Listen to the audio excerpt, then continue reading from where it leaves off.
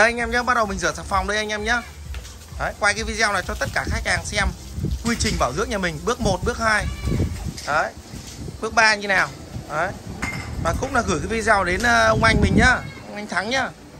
Đấy. Chưa biết là xe như nào nhưng ít hết là phải sạch sẽ anh em ạ. Còn về vấn đề làm cái gì, giá cả thế nào bắt đầu em báo giá cho anh. Đấy, hỏng cái gì như nào báo giá. Còn tạm thời con này đang bị hết dầu. Thì em sẽ cho nhân viên đổ dầu vào và cố gắng làm lỗ. Để cho nó nhẹ cái phần đấy đi. Nếu lổ lên nó không ra khói, nó êm ái thì ok. Còn nếu lổ lên nó ra khói thì em sẽ báo anh. Còn đây coi như mình bảo dưỡng á. Cái phần bảo dưỡng riêng. Đấy, dây cô loa, bi côn, bố côn Đọc gió. Đấy, bi phốt, bắt phốt Cái gì kém, cái gì hỏng. Em sẽ báo anh. Đấy. Còn hôm qua anh bảo em cứ làm thì anh cứ yên tâm. Đấy. Cho anh em thì cứ mái thoại đi. Đấy. Sạch sẽ nha anh nhá con xe này rất lâu rồi không, không tháo ra vệ sinh. Chắc là từ đợt mà sửa nhà em lâu rồi đấy. À, bên trong này. À, lấy cái tay móc ngoáy cái này ra cho anh. Lấy cái tay đấy đấy cho dẻo vào móc ngoáy sạch sẽ đi. Nó để nó cặn lên nó đóng cặn lên nhìn thì cứ tưởng là còn nước mát nhưng thực chất là nó hết rồi. Mà nó chỉ là đóng cái cặn xanh lại thế ta nhìn cứ tưởng là nước. Mấy con xe này cứ mấy cả lười không thay dầu lười không thay nước mát. Đấy nó mới bị bó máy như thế bìa đề lên nó sạt sạt sạt hơi rồi. Đấy, cố gắng mình sẽ cứu chữa nó mình thử cho dầu vào xem là nếu nó nổ lên được thành công. Đấy, thì ok. Không được thì cố gắng chỉ làm hơi đầu lòng thôi là được. Đấy. ok anh nhá. Đây, và tất cả các bạn bè nhà mình nhá. Xem cái video này mà có nhu cầu bảo dưỡng phun sạch alo cho mình. Trước hết là mình sẽ làm về bề ngoài sạch sẽ dươm rúa bẩn thỉu là mình sẽ rửa sạch hết. Còn giá cả về về vấn vấn đề làm ấy thì tháo ra dây con loa bi côn bố côn mọi thứ cái gì kém cái gì hỏng mình sẽ báo lá. Đây bên lốc côn vừa nó rất là bẩn có video anh em xem đấy. Bây giờ nhìn nó sạch bóng luôn nhá đúng không? Mình đi xăng ra mình rửa sạch sẽ rồi có cả video quay đấy, đấy rửa sạch sẽ rồi anh ấy. Rửa sáng bóng như mọi lần. Ấy rồi. Xong bắt đầu rửa nước lã lên nữa là xong. Ok thôi. Xong để xịt. Thật đứt tay đấy cái này sắc lắm đấy còn nhôm sắc lắm đấy. À, bị đứt bao lần đấy.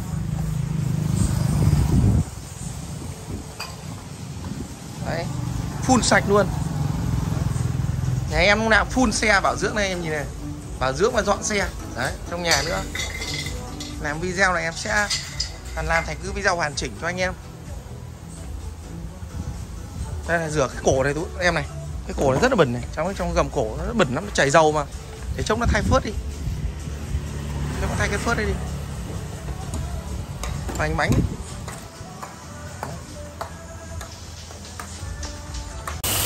ok nhá bắt đầu là quy trình rửa tiếp này anh em này.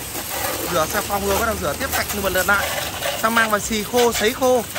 Xì khô luôn các rắc dây điện. Để chống uh, bị nước nó dính vào. Xì khô phơi nắng là nó phải xì khô anh em ạ. Để nhiều anh em đỡ thắc mà anh ấy rửa như thế có hỏng dây điện các thứ không? Thì bọn em nó xì khô. Đấy sấy khô. Xong bắt đầu em mang vào ủ dầu hết một lượt để chống chuột cắn dây điện chống dỉ đấy con xe nó rất là dỉ đấy. em nhìn thấy chưa? Bên trong rồi nó sạch sẽ chưa? Đấy. Thực ra đạn làm này nó đáng bao tiền đâu anh em ạ. Nó chỉ có cái khâu này nó chỉ mất có 100 nghìn thôi. Khâu rửa sạch không xe này ủ dầu toàn bộ xe có trăm nghìn thôi. Đấy. Còn vấn đề à, côn dây côn loa bi côn côn này mọi thứ trên xe ấy hỏng cái gì thì mình báo giá cho anh em. Còn không anh bảo dưỡng hết bao nhiêu đâu. 100 200 nghìn. Và tiền rửa sạch như này ủ dầu cái thứ hết trăm nghìn nữa đáng bao nhiêu đâu. Đúng không ạ? Đấy tiền này không đáng bao nhiêu đâu anh em nhé trông này thôi nhé cái tiền này không đáng bao nhiêu, mà quan trọng cái tiền mà thay đồ ấy, nó mới hỏng ấy. Đây này, bên trong này nhìn thấy chưa? Đây, đấy. Đấy. Cái tiền này thứ này không đáng bao nhiêu.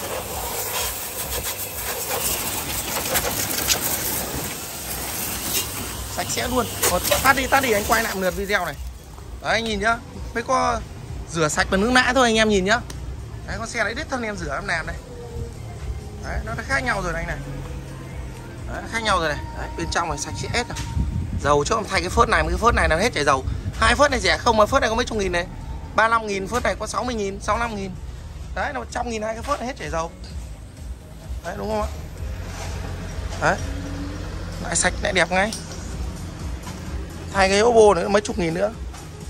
Đấy bên trong này sạch sẽ luôn này đấy anh nhìn thấy chưa?